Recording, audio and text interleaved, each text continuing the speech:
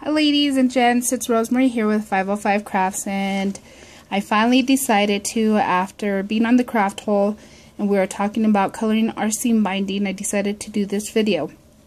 And I brought out everything to try everything.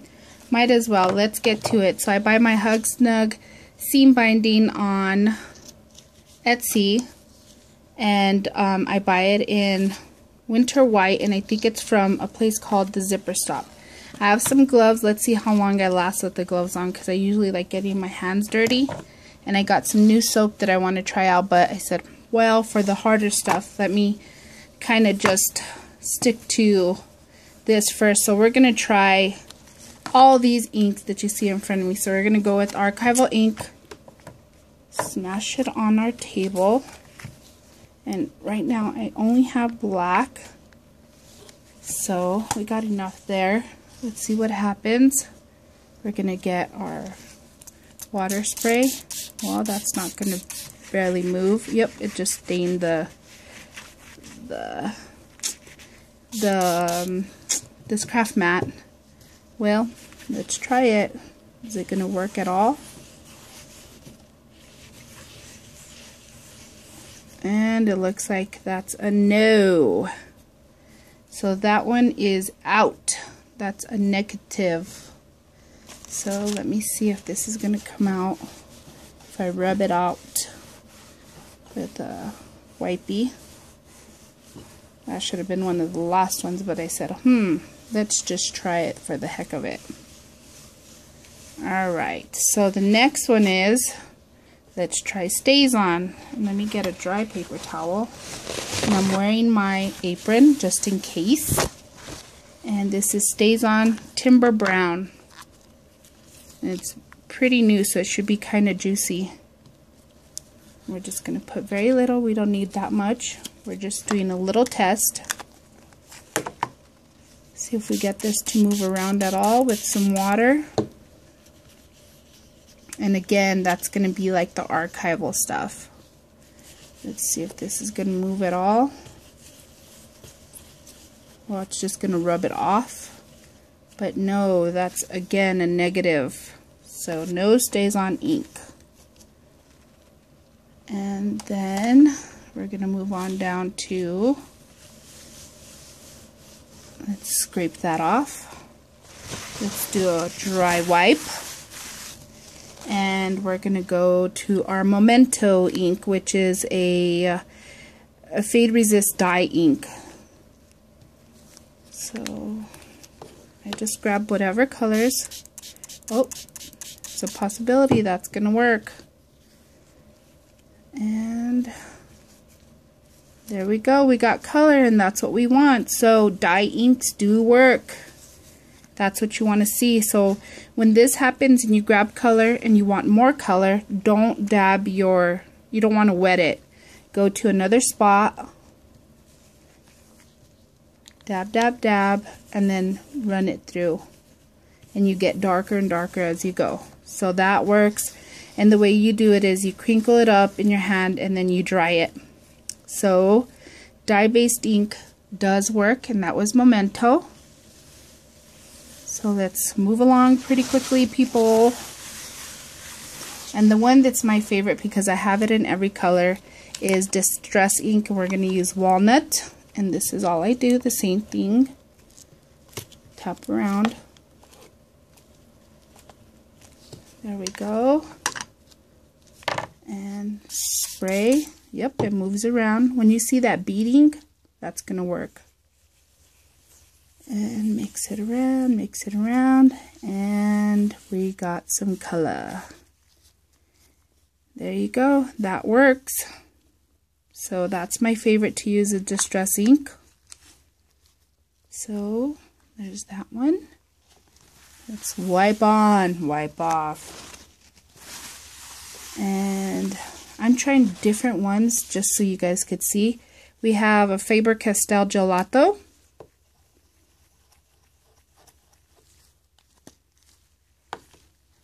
Wet. As long as they're like water soluble. See, that moves around. And we don't get a dark pigment but we get some. And again, we're just going to color over here again a little bit chunkier. And let's spray. And yep, looks like we got some on there. There you go. I should have wet it first to take off all those little chunks, but it, it does the job. Once it dries, it's all good to go. That's what's important. So there's the gelato. If that does work. And then we're going to wipe on, wipe off san. Daniel san.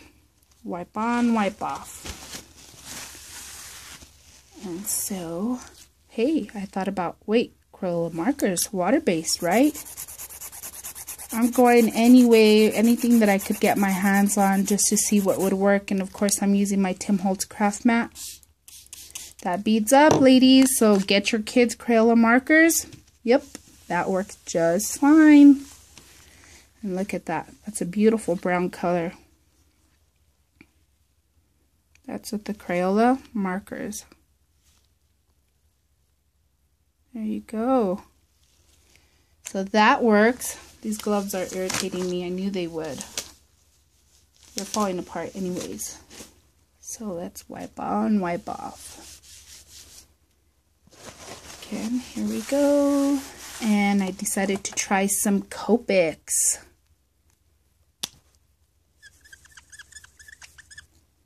See how these Copic markers work.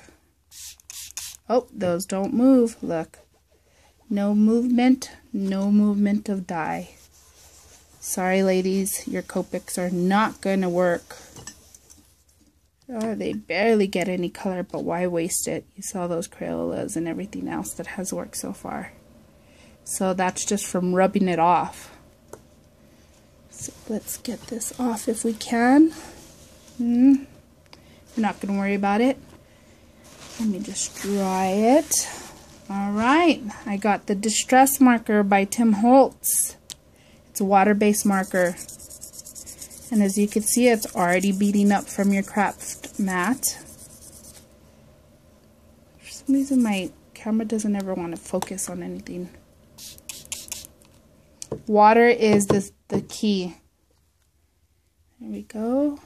And of course, all Tim Holtz products work really well. There we go. Distress marker. Dunno. That's a pretty color too.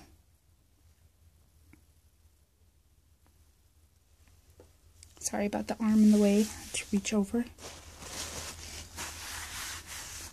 Alright, let's try a Sharpie marker. Why not? We're on a roll here.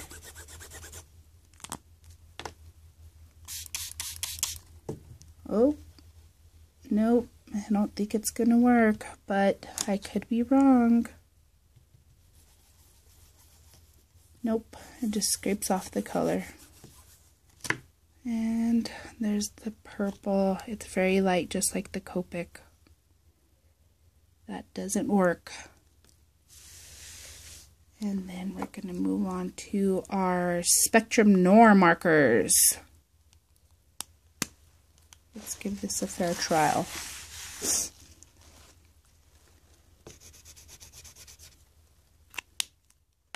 So it looks, oh, oh, I didn't know the Spectrum Noir colors would do that. Did you see the color move? Hey, your Spectrum Noir colors may uh, give you like a pastel look. Let's try that again, just a little darker color. Wow, didn't know. That was a surprise to me. Did you see that? Look at that. That's a pretty color. Very nice. Spectrum Noir must have like a little solvent, like a water base in it. And then we're going to try some, so we did, I think, dye-based and the, the, all the archivers and the StazOn. So I think this is one of the pigment color box. Yep, let's try this color.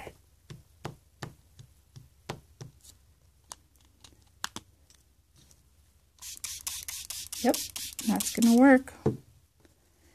Once you see that beading up, there you go. You might have stuff that already works. And look, it picked up that color really nice.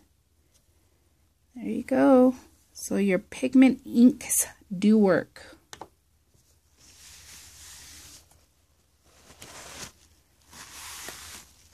And this is the Sunoco Walnut ink. just add a little bit of water.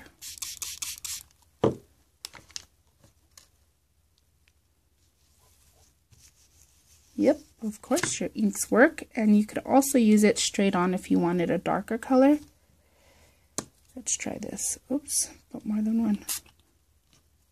So if you wanted like a really rich color, there you go. So look at those with water without straight on. This is Walnut Ink by Sunoco, and most of the sprays work the same way. And wipe off. Sorry. And then we're going to try, let me shake these suckers up because they've been sitting there. Here we go. Smush, smush, smush, squeeze. Get some juices going out of there. Another one. We're going to do one with water, one without. Might as well.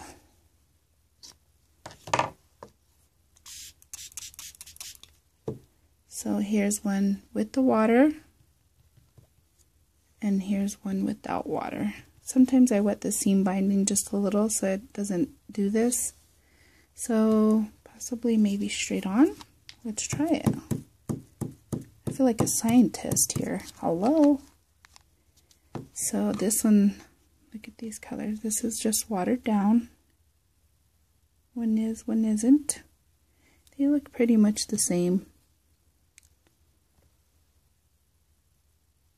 There we go. That's the Distress um, Stain by Tim Holtz. Again, wipe on, wipe off your surface. Let's give everybody a fair trial here. So we're going to get some paint, just regular acrylic paint in red. There we go. We didn't need that much, but oh well. And then douse it with water. Make sure it's mixed up really well. And let me get Oh, look at that. Maybe if I'd have thinned it out just a little bit more. Let me um, get a wipey. There. So, your acrylic paints do work, ladies. Just, you know, water it down just a little bit more. There you go. Acrylic paint. Takes your seam binding really well. Let's wipe that sucker off and dry. All right. So this is my homemade spray, and I used um, this uh, soft gel paste Americolor. They also sell it in Wilton's. I just put a little bit in there, shake it up with some water. If I wanted to have some um, some shine to it, this one doesn't. I use the Americolor Silver Sheen in Airbrush if I want that like really shiny color. But I just wanted to share that with you guys. So let's do one in one. So one spray here and one straight on. And I watered this one down because I wanted a lighter pink. And here we go. Testing, testing. We are in testing and there we go. Look at those. Fabulous. So they both work they almost look the same. That's homemade sprays.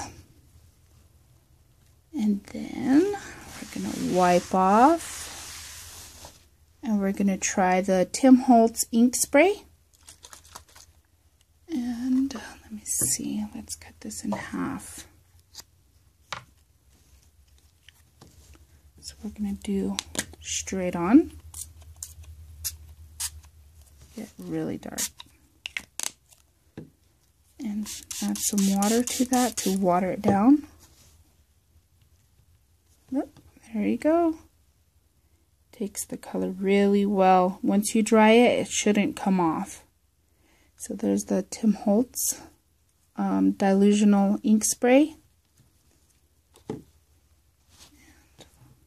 getting the seam binding back there next up. Oops. I didn't do the wet one first. Horrible me. Horrible. Horrible me. Alright, what do we have left? Let me see. Oh, we have the metallic ink of golds. So I did try this, and this was a pain in the butt because afterwards the Inka Gold kind of, um, the metallics in it were flaking off. But I did want to show you guys how I did it in case this is all you have. You can do it. And here we go.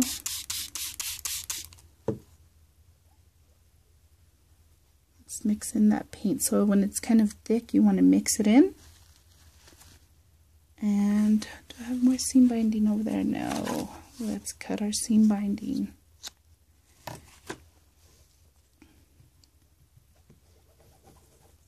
It gives a really pale color, as you can see.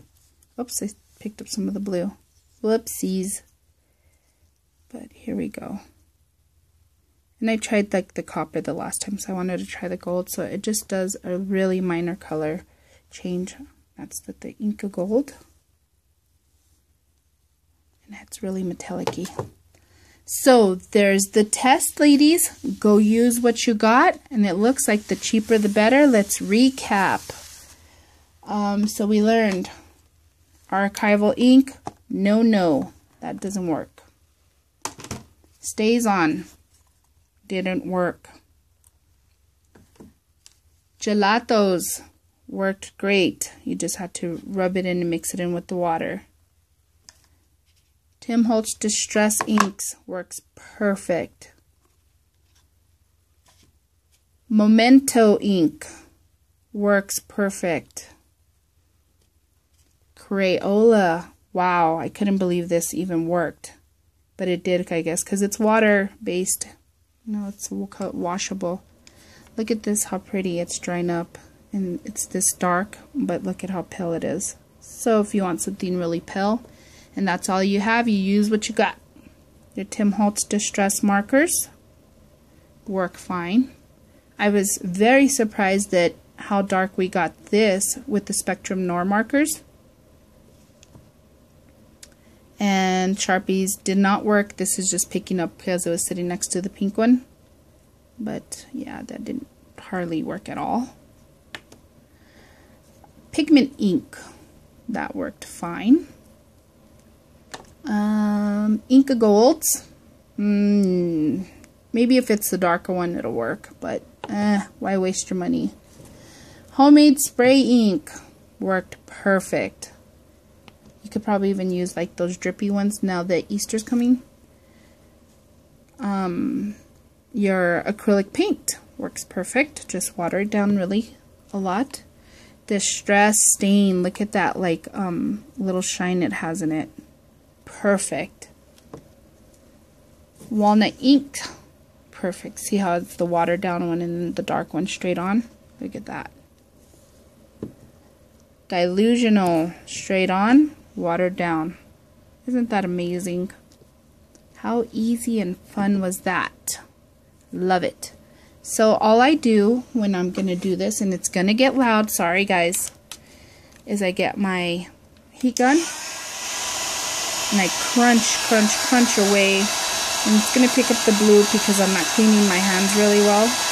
But I want you guys to get the idea of how I get it crinkly. And I saw a girl that says that she puts it in the microwave for like 20 second increments or less between some paper towels. This works for me, or I put it in a box if it gets too hot and it's taking forever, and I just spray inside the box. Or if this is too hot for you, get your tweezers, hold it down, you're just not going to get that great, great crinkling effect. So this is why I like um, doing it like this.